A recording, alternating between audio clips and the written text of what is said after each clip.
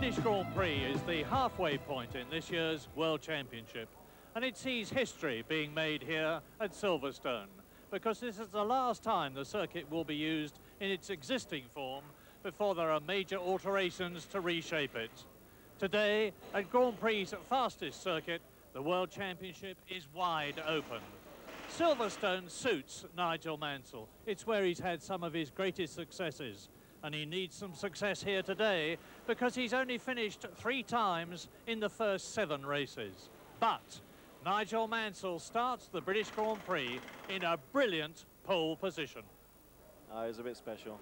Uh, I'll, I'll, even concede that. It was uh, probably one of the best laps I've ever done in my career.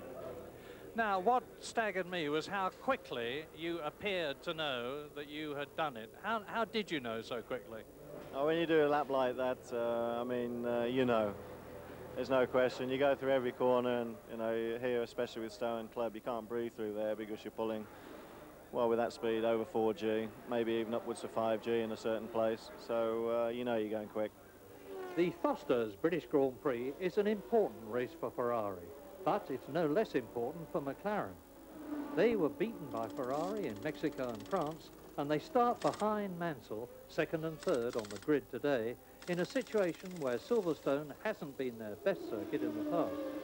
And today is an historic one for Grand Prix racing and Riccardo Patrese who starts a record 200th World Championship race.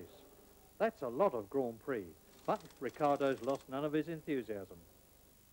Being a Formula One driver is something that uh, I really enjoy, and uh, because of that, uh, I always had the great pleasure to stay in this world, and this is the reason because I'm still motivated also because now I think uh, things are going better. The car is uh, much more competitive. I have a very good team behind me with Williams Renault so it's, it's easier also in this period, I should say, than in the past.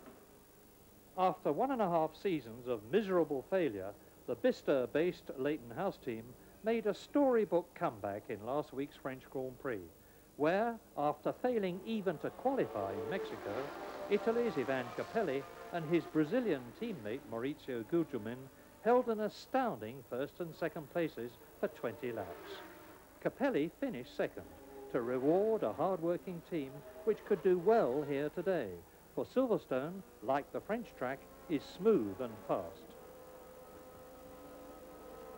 In Formula One, weight is very important, as Jonathan Palmer explains. When a Formula One car designer plans a new car, it's imperative that he keeps the weight right down to the 500 kilo regulation minimum. That's less than the weight of a Mini. An overweight car is not just slow on acceleration, it also takes longer to stop and most importantly can't corner as fast. Vital at Silverstone with its awe-inspiring 165 mile per hour Stowe and Club corners. Teams have a yardstick for this basic rule of Formula One physics. Every 40 kilos costs one second per lap. This handicap is best displayed when the fuel tank is filled for the start of the race with around 45 gallons of petrol, increasing the car's weight by one-third. To the driver, it's like piling five adults into a family car and loading the roof rack. One of the keys to weight reduction is extensive use of this magic material, carbon fibre, which enables the chassis, wings, bodywork and many other components to be made as strong as steel, yet for just one-fifth the weight. These front wings, for example, can support half a tonne, yet weigh just a couple of kilos. The cars are weighed after the race, but are also checked at random as they come into the pits during qualifying, when the driver's weight is deducted. For unlike horse racing, light drivers don't have to carry ballast, so they're at an advantage. All of which means that poor old Nigel Mansell, weighing nearly 20 kilos more than teammate Alain Prost, must drive his Ferrari half a second a lap faster just to keep up.